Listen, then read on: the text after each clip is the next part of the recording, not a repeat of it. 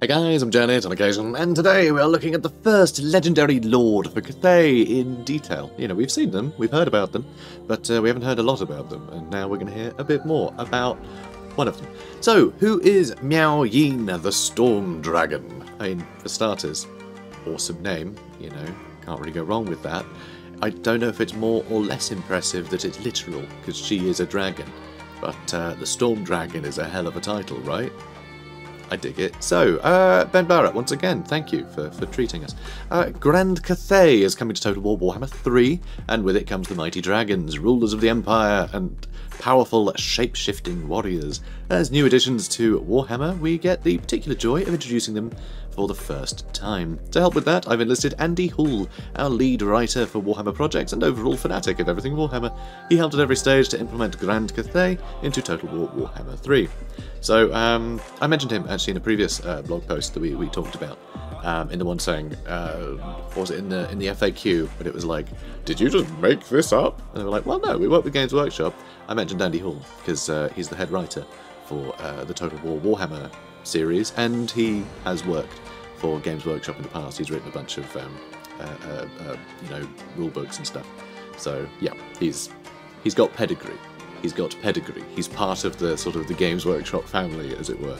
So, um, you know, he's a good one to be writing for it. So, tw.com, that's right, the website can speak. True. Uh, thanks for joining us, Andy. Since we haven't spoken about Grand Cathay before, can you give us a short intro on who they are, what's special about them, and the work you did to bring them to life? Andy Hall. When oh, what is it? Exits, exits left, followed by bear, pursued by bear. I assume there should be stage directions with this. Can we have that? Can we have that in the next blog? Ben Barrett, if you're watching, that'd be great. I'd love to see stage directions.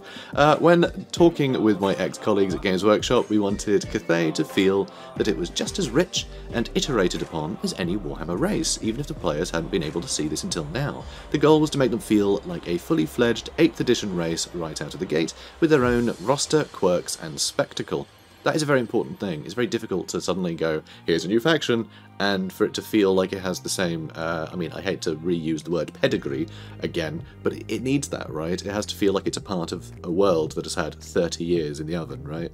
It's very difficult to go, oh, this has also had 30 years in the oven, honest it's a tough thing. So um, yeah, I can understand the challenge there. The team at Games Workshop tapped into the design ethos of Warhammer Fantasy Battle, which has been to take archetypes, both historical and mythic, then twist and push them to extremes. This has given us a deep roster to play with, with plenty of potential areas for expansion. But from a purely player perspective, whether it's in Total War or on the tabletop, I think the real innovation is the dragons that they can transform into both draconic and human aspects, and each form gives players myriad tactical options in battle. That is exciting. And that is exciting. It makes me think that the, um, what was it, uh, uh, Tz'arkan and, uh, and Malus Darkblade, that thing, where they can, you know, transform between themselves. It makes me think that that was practice for, for this sort of thing. I hope it, it feels a bit more like a transformation, rather than just like, disappeared, you know, random special effects and there's a new character there. Like, I'd love to see some transitionary um, animation or something rather than just it disguised with a puff of smoke or something. So um, it's going to be challenging because dragons are quite a lot bigger than people, and Tz'arkan form of Malus was about the same size as Malus, so there wasn't really, yeah, not the same challenge, but uh, yeah, maybe testing the technology there somewhat. So that's cool. So, um, but, uh, nope, we've read that already. Next question. Hooray! Uh, on to Miao Ying, the Storm Dragon. Who is she?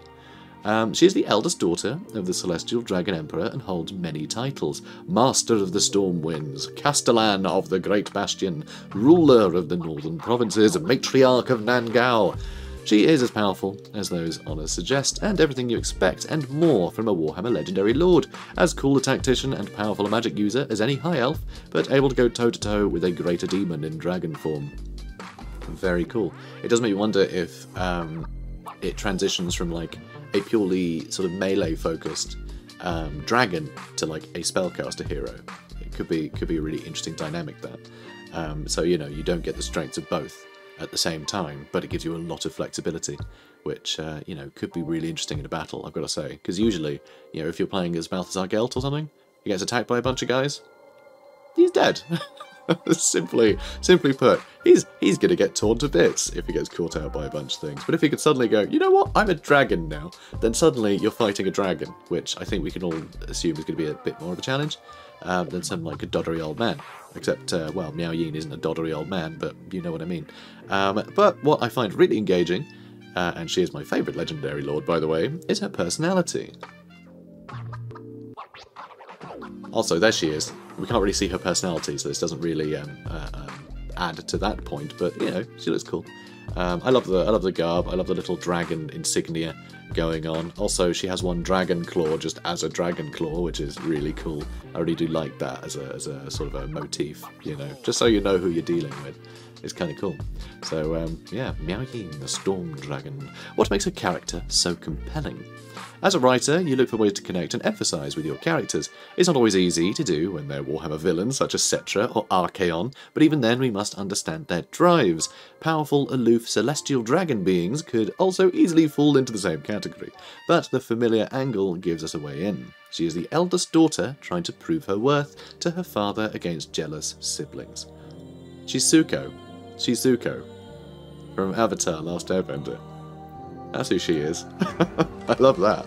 So she's going to be tasked with uh, going out and uh, killing the Avatar. We all know that. She's got to hunt down the Avatar with her uncle.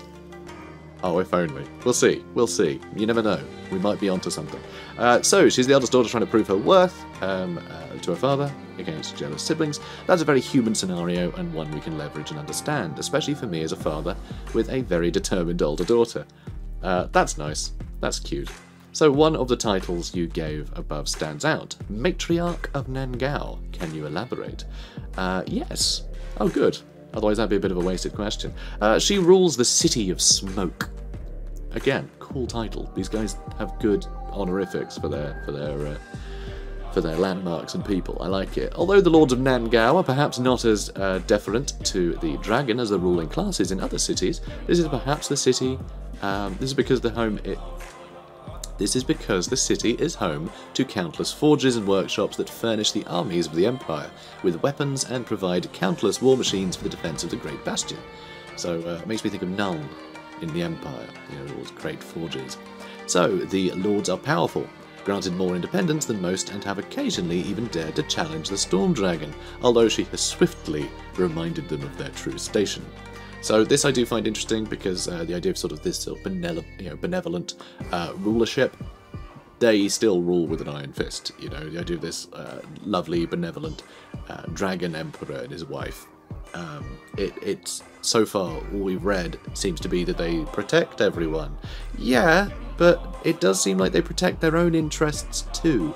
Uh, there is, you know, something to be said for your you know the city that houses all of your forges that create all the defenses for your kingdom deciding to go off on its own way you know you can't have something like that secede obviously but um, you know there's there's more to explore here i feel so let's uh, let's hope they do let's hope they do uh, where are we where are we now? So, the lords are powerful, grant more independence, bloody bloody blah. So, how does she compare to her brother in arms and blood, Zhao Ming, our other legendary lord? Her vaulted position as the commander of the Great Bastion means she is, perhaps correctly, perceived as the favourite by the other dragons. The Storm Dragon doesn't help matters by lording her position over her siblings. When they meet, she often stands apart. Zhao Ming, her younger brother, is far more gregarious character and gets especially offended by Ying's aloofness. Interesting. So the younger brother, so far from what we've seen, has been described as the more uh, sort of sinister one, the one that's a bit more uh, scary, that people are thinking like, oh, you know, close to the, uh, close to the, uh, what do they call the warp wasteland or whatever the hell, you know, with the Great Maw. Um, so you know, and his his sort of uh, his penchant for magic sort of means he's more connected to chaos, and he's a bit, you know, people are a bit suspicious of that. Um, it makes him sound like the more sort of um, uh, serious and, and, and severe of the of the siblings, but here it actually makes it seem that he's actually a good dude, but everyone just thinks he's evil because he's the he's the big black dragon and has magic, which people find suspicious. Um, so I think that's cool. I think that's a really interesting um, dynamic where the the sort of the most benevolent one seems to be the most uh, uh, authoritarian. So this could be really cool. I really can't wait to see how how this plays out, how people's opinions of these characters um, sort of play against their actual personalities. Um, it's very difficult to show those kind of dynamics in like gameplay, but you never know. It could be interesting. There might be some interesting um, mechanics revolving around like public order and and things like that. Um, so I can't wait. I can't wait to see what they how they sort of express that in game. I mean, it might just be quest battle dialogue and things, but you never know. There could be some interesting stuff here. So thanks, Andy. Yeah, thanks, Andy. Uh, that's Miao Ying, the Storm Dragon. Next week, we'll also introduce you uh, to her brother Zhao Ming, the Iron Dragon. Again, great, great name, Iron Dragon. To give you a thorough overview of who's available to align with in the Eastern Empire. Very, very cool. So I'm very excited. Uh, she seems like a really cool character, and um, uh, yeah, more sort of uh, leaning towards the sort of more despotic cliche of you know dragons lording over people, which I think is really cool. I think it's really fun uh, because that's the thing. It's Warhammer. No one should be sort of um, no one should just be good, and then you're done, right? They're, they're all flawed, and if you're in a position of power in Warhammer, you probably you probably strove for it. You know. Um, in fact, the only the only case I can think uh, that goes against that is Karl Franz wasn't keen to be emperor. Um, it was actually, uh, I think it was actually from a short story that, that Andy Hall wrote, actually, as part of uh, the marketing material for Total Warhammer.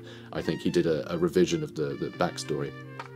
I think it was him. It might not be, so don't quote me on that. But there was a, a tale of basically Karl Franz before the election to decide who the next emperor was. He went to uh, Bretonnia he was he was called to Bretonnia, just just over the border, um, past Helmgart, I think. And uh, Leoncoeur was there, waiting for him, and said, "Yeah, you've got to be emperor, mate, because I've seen things."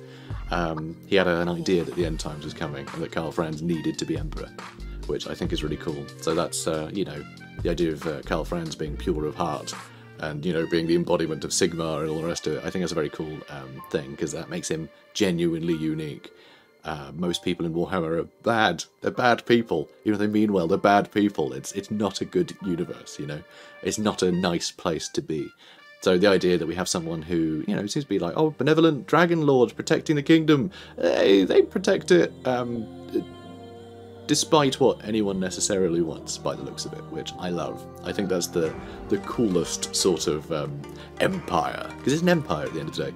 You know, imperialism isn't something that's uh, done necessarily democratically, is it? So, you know, so uh, yeah, this is really cool. I can't wait. I can't wait to see how this all plays out mechanically um, in game, because that's something that Total War needs. I think Total War Warhammer in particular. It needs more injections of like the story of each character, and I really hope they really drive that home. They've done it with recent DLC in a big way, but hopefully Warhammer 3 will will continue that trend. So I'm very excited, and I hope you guys enjoyed this. I hope you uh, you took something away, and uh, it's got you it's got you thinking about what this all means. I'd love to hear theories um, for any gameplay mechanics you think this might involve, and uh, yeah, I can't wait to read them all and see if you guys have, have sort of picked up on anything that I might have missed.